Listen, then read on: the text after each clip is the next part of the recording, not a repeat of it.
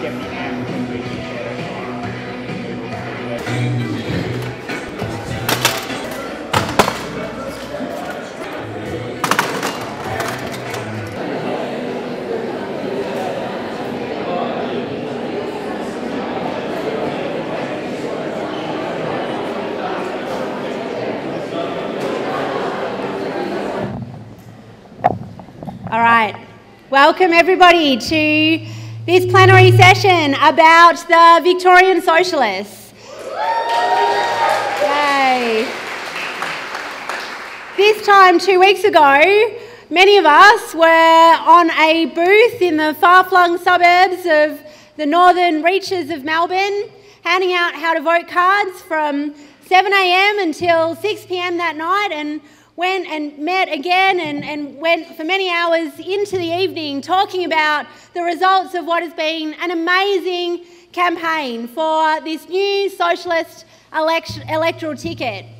So it's wonderful then to, two weeks later, be here to come together to discuss those results as part of this conference where we can situate every step that we take as part of the broader socialist and working class movement. So, our three speakers today uh, have all been centrally involved in the Victorian Socialists. And I'm going to ask them to come up uh, one by one and talk about different aspects of the campaign and how we see this project. Our first speaker is Liz Walsh, who is the campaign coordinator for the Victorian Socialists. Our second speaker is Steve Jolly, the, the man that we campaigned uh, to, uh, to be the first socialist elected to, uh, to Parliament, who it looks like, I don't think I'm spoiling uh, the, uh, the end of the story to say it will not be the case this time, but nonetheless something that we will be fighting for uh, uh, in future elections. And our final speaker is Jerome Small, who is the industrial organiser of Socialist Alternative and was our candidate uh, in the Broadmeadows district. So, Please make our first speaker, Liz Walsh, very welcome.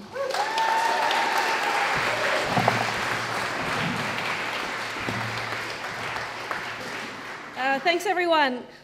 Well, the Victorian Socialist Project uh, was very much established because we see the Labor Party and the Greens as no genuine uh, left wing alternative. That uh, neither of them are really up to the task when it comes to advancing working class interests, uh, to building a fighting combative left that can take on the far right, uh, and then can take up the broader struggles uh, against inequality, against oppression, that can really shake up the system and really challenge the status quo. We think neither of them up to the task, and that we actually need to establish something new. So, just firstly on the Labor Party. With the state election, I'm sure all of us here were very pleased uh, to see the Liberal Party get a thumping. Every one of us were happy uh, to see that their reactionary campaign, their campaign uh, of uh, panics about crime, their campaign vilifying migrants, their campaign of more and more authoritarian measures was rejected, that it didn't actually whip the Australian and the Victorian public up into a frenzy. Uh, so, uh, so we're pleased you know, to see the fact that uh, Labor were re-elected. But I think it is important for us to make a distinction between uh, the swing towards Labor and enthusiasm for uh, the Labor Party. If any of you were campaigning out on uh, the booths in the northern suburbs or doing the door knocking, you know that there was a sense of resignation, a sense that, of course, you're not going to vote for the party of big business, the party of racism, but you know, you, so you're going to vote Labor, but you do it uh, with quite a de- uh, deal of resignation, a deal, a great deal of sense that nothing really is actually going to change uh, for the better. In fact, probably the most widespread sentiment that exists is a general sense that all of the political parties are self-serving, all of them are about lining their own pockets and the pockets of corporations. None of them actually represent ordinary people's interests. And you know, you've got to go and get your name ticked off. Sure, return the Labor government, um, but that's about it. And we don't see you know, it's not a Corbyn-like phenomenon, uh, the Dan Andrews, uh, Red Dan's, you know, uh, so-called uh, progressive government. There isn't, you know, uh, tens of thousands of people flooding into the Labor Party, joining up, signing up, going out there and campaigning hard for the Labor Party. They really have to rest on their uh, connections to the trade union movement, in particular the trade union officialdom,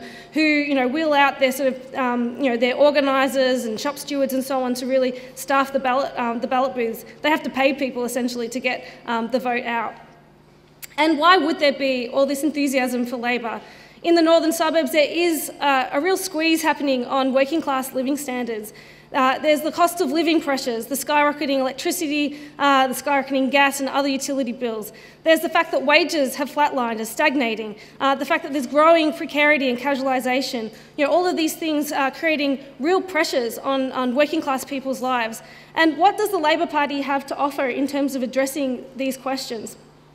When it comes to housing affordability, what are they doing? They're selling off public housing and they're doing nothing to build, you know, affordable housing.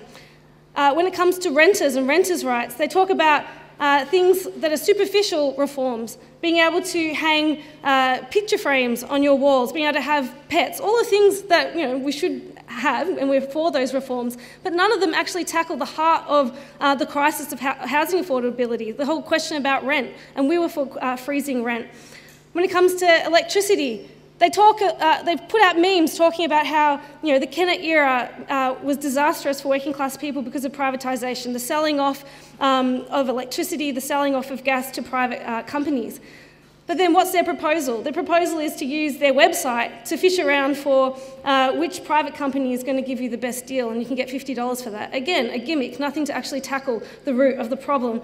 Indeed, the Labor Party have actually done nothing to reverse the privatisation agenda of the Kennett era, and they're continuing it with the selling off of the Port of Melbourne, the selling off of the Land Registry, the selling off of public housing that I mentioned earlier. Um, their support for toll roads, for public private partnerships, actually private partnerships with companies that are uh, anti union, that are not for actually having uh, standard union conditions on, on construction sites.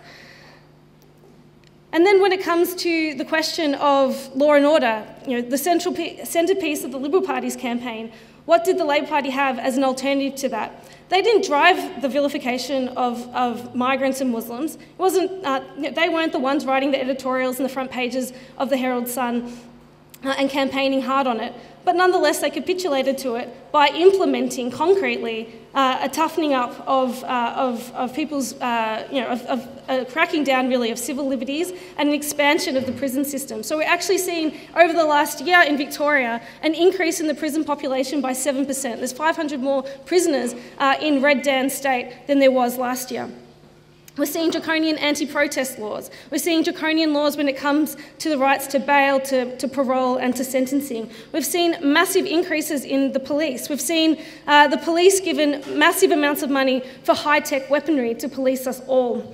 Uh, and obscenely, uh, we've seen children locked up in adult prisons. Most of these people are Indigenous children, and they have been essentially tortured, held in solitary confinement, and the Dan Andrews government has backed this up and defended it down the line.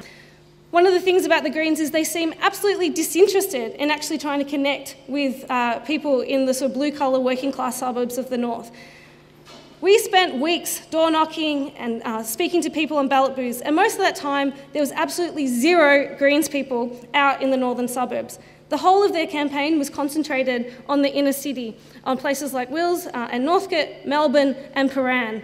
Uh, choosing Prahran and Melbourne as two of their centrepieces for their elections give you a bit of a sense of you know, the real retreat of the Greens into essentially an inner city sort of middle class uh, party, a party of progressive professionals, a party, uh, as someone called, of the woke bourgeoisie, but not a party of you know, a combative working class trying to uh, shake up the system and, and fight for their rights. Prahran is one of the most wealthiest of electorates. Melbourne is one of the most wealthiest of electorates. 40% of residents there are professionals, 14% are managers. Uh, they have half the rate of tradies that, of other electorates. So that really gives you a feel for the kind of audience that they're trying to relate to. Uh, also, when you look at their candidates, uh, one of the things, actually, interestingly, uh, I was looking back over some of the Green statements from when they were sort of first getting going. In 2002, Kerry Nettle actually spoke to a conference quite like this. She's a New South Wales Green senator, and she spoke to uh, our Marxism conference. And she said of the Greens MPs that our MPs are community activists first. And you can really see the value of that compared to those who come in with a professional sense, with a legal sense, or with a medical sense. And when you think about the Greens candidates today, they are not community activists. In fact, most of them are doctors, most of them are lawyers, most of them are NGO kind of middle class do gooder types, uh, and that kind of compassionate technocrat. Um, so that's sort of the sort of people that they put forward. And then politics-wise, it's all about you know a more modern, fairer, more forward-thinking, not left nor right, but just forward um, type of politics, talking about values. Um, instead of actually talking about when it comes to combating racism, it's not just a question that racism is terrible and bad and that it injures people's lives. It's actually that it's a tool for the ruling class to divide people. It hurts working class people. Working class people have an interest in fighting racism. And if we're going to fight racism, we also need to put forward a class program about what is the alternative, how will we improve our living standards. It's not migrants and refugees who are um, cutting our penalty rates, making us casuals, you know, cutting funding to, to um, our services. Actually, it's those in, in, political power and it's those uh, in the corporate boardrooms. We actually need a way of challenging those people. So that kind of politics could actually speak to working class people, whereas the Greens very much um, have a sort of focus on sort of a soft liberal uh, type of politics.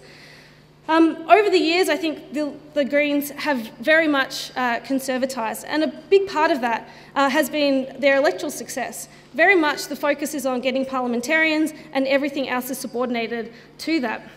So much more a party of careerists. Um, but also, the party has uh, waged a war on the left within their own ranks. They've made it very clear that this party is not a party for left wing activists.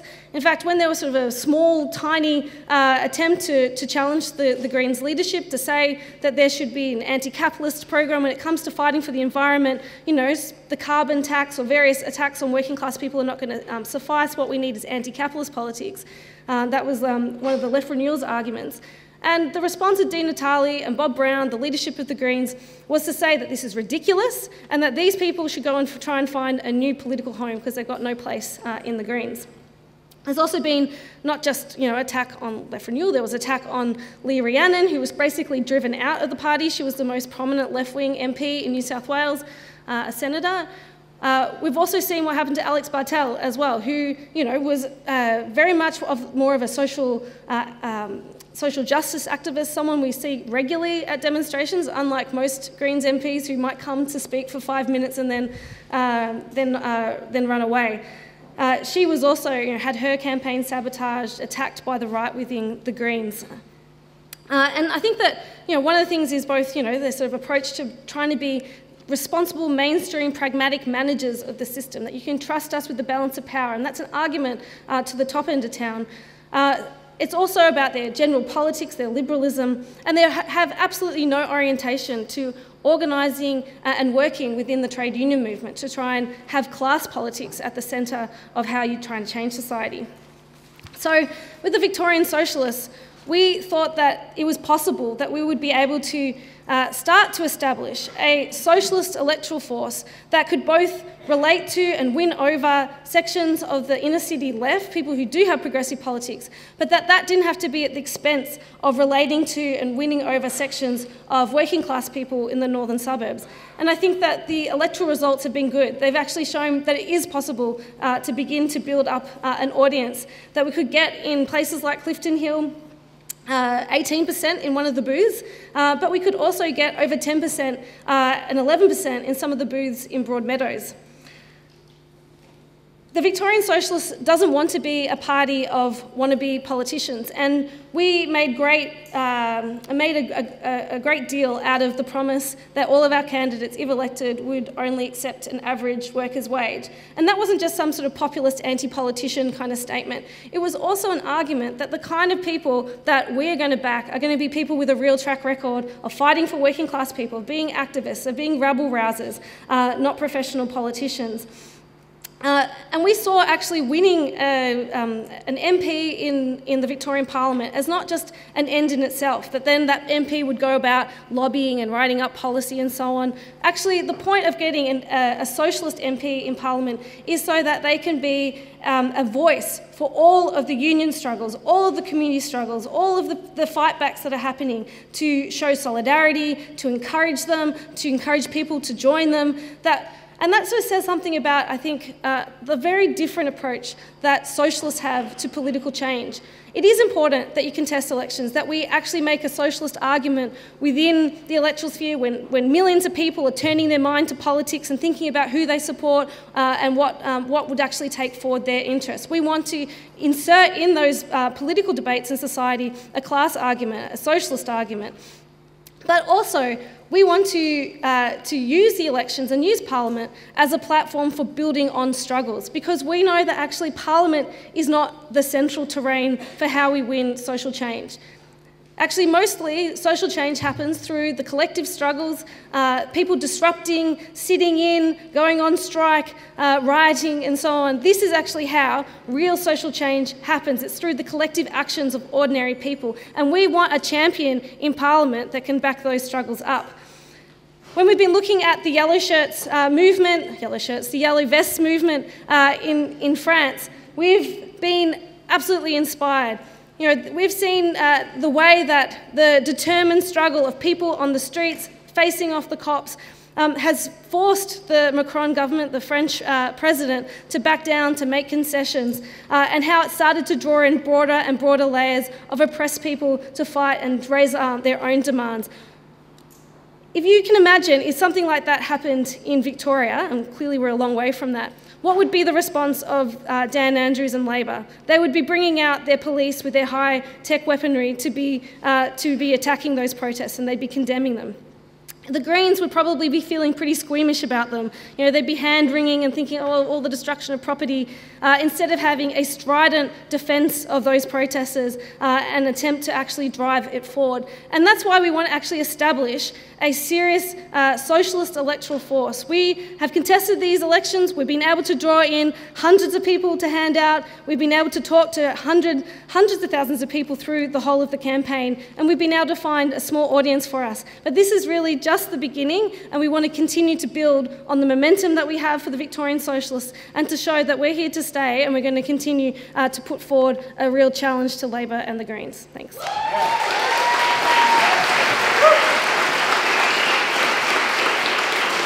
Okay, I'm going to hand around a contact list to sign up to the Victorian Socialists. So if you're not a member yet, even if you helped hand out on um, election day, or this is the first uh, time you've come to something um, for, about the Victorian Socialists, please join.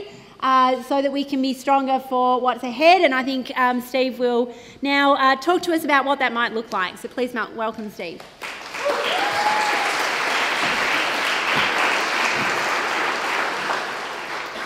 With 88% of the vote counted in Northern Metropolitan a few minutes ago, the Victorian Socialists are on 18,891 votes, first preference votes. That is the highest vote for a socialist ticket or a communist ticket on this continent since the Communist Party of Australia won 20,000 votes in the 1967 federal election. But that was a combined communist vote for a half Senate federal election. So we can safely say that never in the history of the Australian working class socialist movement has in one region or one district a socialist ticket got anywhere close to 19,000 votes, and that's thanks to most of the people in this room. Thank you. At the moment, 19 parties stood. We're in fourth position. After the Liberals, after the Greens, and after the Labor Party. Or to put it differently, of the 16 small, new micro parties, of which you could say we're one of, we were like a sheep in a wolf's den. 15 of them supported capitalism, one of them didn't. 15 of them did some type of dodgy preference deal, and one of them didn't. Many of them had a name designed to confuse or lie about their real intention, and one didn't. And of all of those parties, we came out on top. We got a vote. That's not normal for socialists in Australia. The party that came behind us came behind us on the basis of confusion. The Democratic Labour Party, in the context of a Labour landslide, most people who voted for them, shown by the fact that 95% of their vote was above the line, voted for them on the basis of confusion because they thought they were voting for the Australian Labour Party. Parties that came third to us and fifth to us unfortunately look like, on the basis of these dodgy preference deals, that with a fraction of our vote, they will overtake us over the next day or two and win a spot, one or two, in Northern Metropolitan. When Patten won as the Sex Party leader in 2014, that fifth spot that we aimed for, she got 11,000 votes. Two weeks ago, the Hinch Party got 9,000 votes. We're on basically 19, 18,800 votes, and we didn't win. It's an absolute disgrace. People ask us, how do we feel? Three things. Number one, we feel cheated by the secret preference rules. The fact that your preferences, even if you want to give them in the first place, which you shouldn't be made to do, why would you want to vote for some capitalist party? Why would you not want to just put one socialist and not bother with anyone else? But even if you did want to put preferences, why would you want to hand over those preferences to some backroom deal, dealer in some dodgy party rather than do it yourself like you can do in other parts of the world? The second thing we, we would say is that we're very proud that we didn't sell our soul with some preference deal, some dodgy preference deal. And in the long run, that will do us a lot of good. The third thing, as Liz has said and Colleen has said, is we're extremely proud of our campaign. What a machine we had. 95,000 doors knocked, 750 people on polling day. As one Labour MP said to me, you had what the Greens had 10 years ago. You had what the Labour Party had 30 years ago. You had the youth. No one else had them. It was an overwhelmingly young campaign where the vast majority of our people were the under the age of 30. Now, why didn't we win? Obviously, the first reason is objective. We do not have the level of class struggle in Australia that, for example, we're seeing right now on the streets of France. We do not have the level of, underst- of, of understanding that socialism, no matter how broad you want to look at it, is in some way a, a, an avenue for social change that we're beginning to see in the United States of America. It's, it's, as Corey Oakley put it at Marxism earlier this year, we're testing the water a little bit with this, uh, with this campaign. And, th- and for that reason, we can be proud of the vote, but we're not at the stage yet. The, the, the, the, the economic situation, it's not as pronounced, it's not as extreme as we see in Western Europe and in North America notwithstanding the fact that many people have been left behind by this 25 year boom here in Australia. On a more mundane level, the Greens vote dropped. That hurt us. They got 75,000 votes four years ago. They pretty much got 75,000 votes two weeks ago. But the number of people who were allowed to vote because of population growth in that seat rose by 60,000. So, on a net basis, their vote went backwards. Why did that happen? Because of the contradiction that's inherent in the Greens on the one hand claiming to be some type of progressive to the left of Labour Party, but because they support capitalism, when they take control of a city council, when they go into a coalition government like they've done in Ireland, in Germany, in Tasmania, and other places, they sell out time and time again. And that's at the heart of the contradiction in the Darebin area between the councillors who are on the right, trying to manage a small wing of capitalism in Darebin Council, and the ones who aren't in power yet, who can afford to talk a bit left. And that's the inherent contradiction inside the Greens. The third reason we didn't win is that the reason vote didn't collapse. It actually went from 11,000 last time to 15,000 this time. Thanks, by the way, to unbelievable media support in The Guardian, in The Age, that the uh, Reason Party received. That makes our vote of 18,891 votes all the more remarkable. We garnished the anti politician and anti establishment vote. Four years ago, in that seat, there was a whole bunch of right wing populists and religious nut jobs who tried to capitalize on the anti establishment vote. The Parliament United Party, 5,000 votes. Family First, 8,000 votes. Australian Christians and Rise Up Australia, 7,500 votes between them. Thousands more for fake progressive parties. This election, we monopolised the left in that seat, and the anti politicians vote, and the other parties had to flap around. We made the socialist name, the socialist brand, part of the mainstream debate. Without most workers realizing it, we gradually and persistently changed the perception And the VS, the Victorian Socialists, became identified with housing affordability, with more public transport, with defence of public housing, and so on. We undertook for the first time in recent times on this country semi mass work. Hundreds of thousands, literally hundreds of thousands of people read a socialist case on the main issues of the day that they face. The relative media silence that we face wasn't because of our irrelevance, but for exactly the opposite reason. However, it is still early days. Socialism alone, just that term, and even the term Victorian socialist, is still not yet attracting mass support, as seen in our low vote in seats where we stood outside of Northern Metropolitan. We, have, we, have, we had to have in Northern Metro an intense campaign to link socialism and voting socialist to the everyday needs of people. It's not, less, it's not obvious to ordinary people, but they are open to being persuaded. For example, in Yarra, my vote and the vote that the higher vote that the Victorian Socialists got in the state seat of Richmond in the Yarra Council area comes from being a socialist councillor for 14 years, rooted in the community, that will answer you know, your emails and answer your phone calls, come to resident meetings on street corners and kitchen tables, and go into bat for you on whatever, every issue. But with the weakness of socialism in Australia, people think that that's some type of personal trait rather than seeing as what any decent socialist elected representative would do here and what your comrades would be doing right now, for example, in the Republic of Ireland, the TDs, and People Before Profit, and Solidarity, and so on. This lack of clarity is a political challenge for us. It's also reflected in our vote, where we got a very high below the line vote. A third of our vote was below the line. That's a, strength, a sign of weakness, not a sign of strength. But we did drag the Greens to the left. There wasn't a day we didn't pick up the age almost, where they'd stolen, sometimes with interest, our policies public housing, public transport, inclusionary zoning. They probably didn't even know what that meant before the election campaign started, even on industrial relations. Everyone was claiming in this election to be on the left, to be progressive, and of course, it was a swing to the left. In 2014, the combined Labour Green vote in that seat was 240,000 votes. In this election, the combined, in that seat, the combined Labour, Green, and Victorian Socialist vote, with only 88% counted, wasn't 240,000, but 285,000. The Victorian Socialists is now, I'm proud to say, got 1,700 members and growing. The majority of those members are not in any other party, they're individuals. But we also have to be realistic.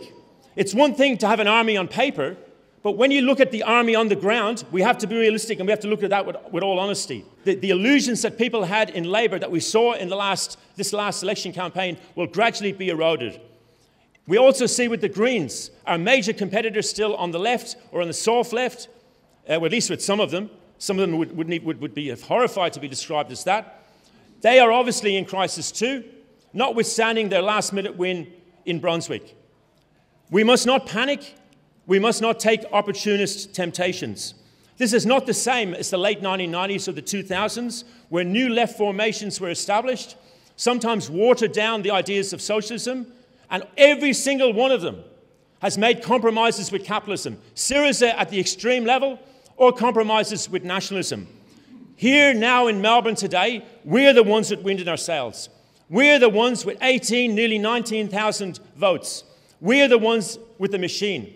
And that is why the Provisional Central Committee, the provisional leadership of the Victorian Socialists, a week or so ago, announced that on the 9th of February, we're going to have a conference to democratise this organisation, to ensure that we have a vote on our code of conduct, on our constitution, on our basic ideas, and elect a leadership. We are going to propose at that conference that we stand in the federal election. Why? Because if we abstain, we open up a vacuum. We know that nature abhors a vacuum. It's the same in politics too. We, we know we will not get the same vote as what we got in the state election for a whole number of reasons, but we have to ensure that the momentum keeps going and we don't leave, do all this hard work, and other people will jump in if we don't stand. Also, by standing in the federal election, especially if we stand in working class seats in the northern part of Melbourne, it will show that we are not a party of inner city trendies. Just by the way, in defense of inner city trendies, as the, as the uh, councillor for Fitzroy and I've just heard from Liz 18%. Who would have believed that the first Soviet in Australia would be in Clifton Hill? you can't buy a house there for less than 3 million. But one of the proudest moments of this campaign, and there's so many things that I'm proud of that we've all collectively done, was the so called red bus. It was actually a white bus. It was the only lie that we told in this campaign. driven by Peter Green and your own Ros Ward, where we bust in people from public housing estates to vote. If you could have seen the look on the face of the Labor Party apparatchiks, I swear to God, you would have had a smile on your dial for 24 hours. But who was in those red buses? It, eh, overwhelmingly women, overwhelmingly people of colour, 100% working class. They not only wanted to get in that bus and travel the other side of Yarra to vote for us, not, not, you know, it wasn't a great bus and the driving was very good and all the rest of it, but it wasn't, you know, something that you would normally do. Why? Because over the course of the last decade and a half, when they've had cockroaches climbing up their house at 240 Wellington Street in those blocks of units to the degree where children were eating the cockroaches because they thought they were food, when they had a fire at 125 Napier Street Tower, when they had floods in that same tower a year earlier, when they wanted a basketball court because they had nothing for their kids to do, when they had the worst soccer field in Yarra, where all the kids play soccer in Fitzroy, and Clifton Hill had the best soccer field in Yarra, where none of the kids play soccer, or almost none of the kids play soccer, it was only the socialists and their own resident organisation that got in the trenches with them. So the next time you get, you know, there's a lot of people on the left who like to criticise the Victorian socialists. Where were they when that was happening? We were there, we fought for those people, and that's why they rewarded us with their vote two weeks ago.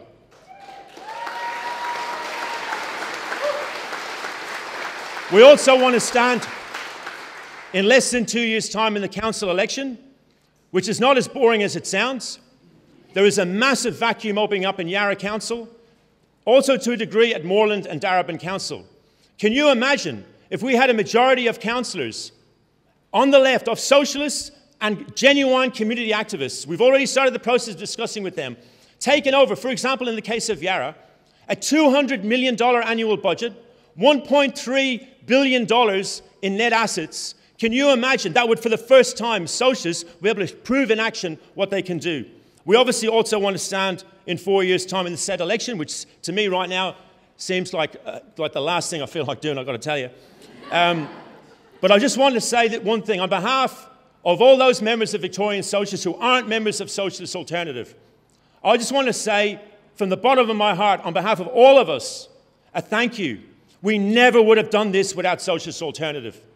The organisation, the tactical nous, the, the drive, the hard work, the tenacity, it's a credit to your organisation. It's an unbelievable thing, and it's a real feather on your cap. And I've got to tell you, there's thousands, hundreds of people out there, thousands actually, who are looking at socialist alternative in a different light now because they probably had different ideas until they actually could see in practice with this election campaign what you were like.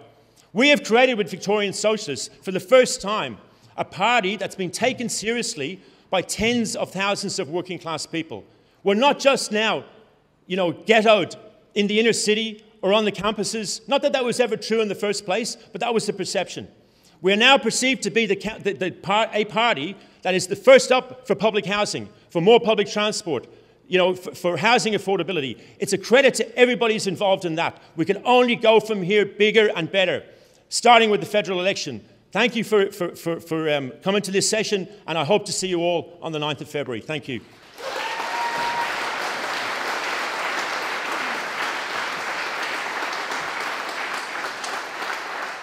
We're not going to wait for four, another four years. We're not going to wait another three years. We are going to be out again in five months' time contesting in the federal election. In fact, we won't even be waiting five months. We want to be starting to build on the momentum of the state election to build an even bigger campaign with more volunteers, more people being active, knocking on doors, converting the people who maybe met us for the first time on November 24 when they came along and they had a chat to one of our polling booth volunteers. We want those people who, for the first time two weeks ago, voted for a socialist in the election to become Victorian Socialist voters by giving them another opportunity uh, to find out what we, where we stand and to support, uh, to support what we stand for. So we want all of you who haven't joined yet to join yourself. But for the most of us that are members, have been part of the campaign, who've been talking to people over the last two weeks about how much we've achieved, to talk to those people about what's next, that they should sign up, they should be with us when we're knocking on doors uh, in April and May, as it most likely uh, a May election um, is looming. So, uh, without further ado, I'll introduce our last speaker, uh, Jerome Small.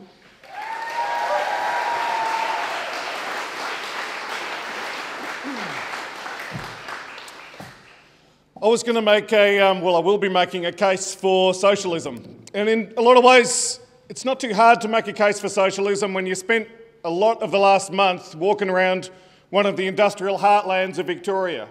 A place like Broadmeadows, which is the residents of which and the workers of which have churned out the colossal profits of some of the biggest companies in Australia and some of the biggest companies in the world, like Ford. And when you wander around that industrial heartland, and the best that capitalism seems to have to offer them here in Australia, the land of 27 years of continuous growth, here in the so called lucky country, and the best that the system seems to be able to offer the working class of Broadmeadows is poison from the factory fires and mass unemployment 25% of the workers chucked on the scrap heap and sitting there in, the, in many of the suburbs of Broadmeadows. And as soon as you turn your gaze from Broadmeadows over the Maribyrnong to Footscray, and you see the inquiry starting there into yet another factory fire, yet another you know, bilious, poisonous cloud of smoke, poisoning working class communities and plenty more across the western suburbs. And then you think just a couple of years ago, the Morwell fire, the Hazelwood fire that poisoned the town of Morwell and much further afield in the Latrobe Valley. Every cent of the wealth in this state depends on the labour that's pumped out of those workplaces and those communities. Every cent of the wealth in Collins Street is pumped out of those communities, couldn't happen without those communities, and the best that capitalism has offered those people for the last 20 years is mass unemployment and mass poisoning. And this is in Australia. 27 years of economic growth, let alone the rest of the world that have been wrecked by crisis and all the rest of it. Many years ago, I put on a meeting, helped to put on a meeting, um, I think it was at Melbourne Uni. We found this alarming statistic, this incredible statistic. We couldn't believe it. We had to check it five times from Forbes magazine that the richest 365 people in the world had as much wealth as the poorest 3 billion, 3.5 billion, the, the bottom half of the population of the planet. Incredible. 365 people, not even a jumbo jet full. A few years ago, Oxfam redid those calculations and found 82 people now have as much wealth as the bottom half of the world's population. Last year, they redid the calculation again 42 people in the world, not even a luxury bus full of capitalist parasites, control as much wealth as the bottom half of the world's population. So it's not hard to make a case that we can do better than this. You know, we can't offer you a job, we can't offer you a pay rise, we can offer you a jail, we can offer you racism. You know, that keeps us divided. It's nice and cheap. That keeps us all in fear. We can offer you a crime, a, a crime, a crime scare. And that seems to be all that capitalism has to offer. So it's not hard to say we can do better than this. And that actually, a system of socialism where the working class that produces the extraordinary wealth of this system, that we can take hold of the incredible productive apparatus that spans the entire globe, that we can seize those means of production and that we can turn them into providing for human need, for human beings, and of course into repairing the planet. Like the idea that, you know, that this is a better state of affairs is not going to be too controversial. The hard part for a lot of people is believing that it can be achieved. The hard part for a lot of people, Bertolt Brecht, the great German communist poet, put it as communism that simple thing so difficult to achieve. Like a lot of people would say, yeah, that's a great idea, it'll never happen. So we've got Marx learned from the workers, distilled and gave back to the workers' movement, what Friedrich Engels, Lenin, Luxemburg, Trotsky, and all the rest. A theory of, uh, a, uh, a body of theory which is built up to understand working class struggle, to orient in that struggle. And that's a body of theory that, you know, we ignore at our peril. There are no shortcuts to political clarity. There are incredibly difficult political questions that come up, you know, even in all, in all sorts of campaigns, but we have that body of theory. Um, you know, and that's you know, to the extent that socialist alternative has achieved something in the world, it's because we've founded ourselves um, you know, on that body of theory. So we've got that. And fourthly, and I reckon, you know, I don't know, most, well, yeah, fourthly, the capitalist system still produces resistance, and that resistance still takes the form of worldwide waves of revolt. And we've been talking about some of them this morning. You know, um, I spent a fair while getting to 1848 um, uh, this morning. There's the, uh, the, the, wave of struggles that, that, uh, that greeted the end of World War I, that, that gave birth to the world's first workers' republic in the Soviet Union. There's the wave of struggles in the 1930s. There's the wave of struggles that we're celebrating 50 years of, the 1968 struggles that shook uh, Western societies and you know, societies around the world to their core. Even in my, um, you know, in those historic terms, even in my relatively short political life, I've seen um, the Stalinist tyrannies of Eastern Europe swept into the dustbin of history. Um, you know, and so many generations would have grown up thinking, oh, well, nothing will ever change in Poland, nothing will ever. Okay, when it started changing, the dominoes fell almost overnight. And, you know, yeah, like no one could have expected that. That was a wave of struggle. The, the anti capitalist movement or the global justice movement that burst out from the streets of Seattle in, when was it, 1999, and caught the imagination of young people and trade unionists around the world. Um, it, you know, more recently, in response to the economic crisis of 2008 2009, um, a vegetable vendor is humiliated one too many times in Tunisia, sets himself alight, it ignites a revolution in that country that spreads to Egypt. People in Greece are suffering austerity. They say, oh, well, people in Egypt just went and sat in the squares. That was enough to overturn the government. Let's go to the squares. So the movement jumps across to Greece. It spreads across the Middle East. It jumps to Spain. From there to New York. There it becomes Occupy Wall Street and even reached sleepy old Melbourne, where we had a week of participatory democracy and all of its, you know, messy horrors down in the city square before Robert Doyle, the late unlamented Robert Doyle, the wannabe Caesar, sent in the, the riot squad with the dogs and the mace gas to chase democracy out of City Square. Even that wave of global struggle even made it to Melbourne. Now we know that that next wave is coming. And we don't know when it's going to hit. We have no way of telling when it's going to hit. We don't know whether the uptick in strikes in the United States, the teacher strikes that some people heard about this morning, uh, it's, it's uh, actually a high of, uh, I think it's like since 2000. There haven't been so many mass strikes in the United States. We have no way of telling whether that's a flash in a pan and will die down or whether that will catch on and become something uh, even more significant. We have no way of telling the incredible uh, movement of the yellow vests in France you know, how far it will go, even in France, whether it will spread, what it will inspire. We don't know when the next global wave of struggle is coming, but we know that it is coming. And the question that we are going to be asked when it arrives is Are we ready? Have we drawn the right lessons? Have we built the right organisations? Now, there's a whole lot of debate that can happen within that. There's a whole lot of hard, bloody slog that has to happen within that. But every ounce of political clarity that we build before the wave hits, every ounce of organisation that we build before the wave hits, is going to be absolutely crucial in those struggles to come. And will contribute to a day where they can get on their fucking luxury bus, all 42 of them, and they can take their barbed wire, and they can take their racism, and they can take their prisons, and they can take their crime scares, and they can go to hell because all we want is the world and we're taking it back.